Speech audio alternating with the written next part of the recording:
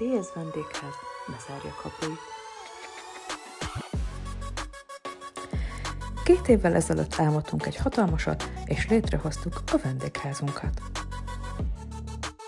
Csodálatos két szezonon vagyunk már túl.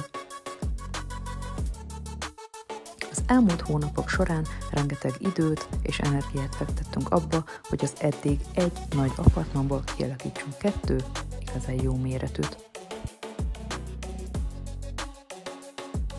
Mindenre azért volt szükség, mert sokkal többen szerettetek volna jönni hozzánk, mint amennyi helyünk lett volna.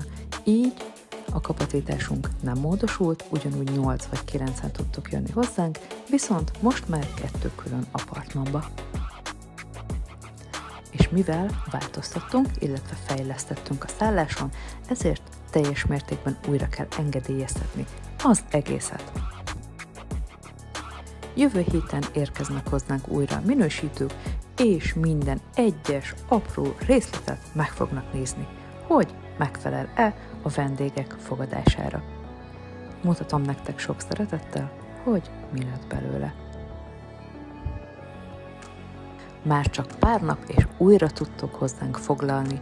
Egy nyugodt falusi környezetben várunk titeket Szalaháshágyon. Sok-sok-sok szeretettel! Gyertek!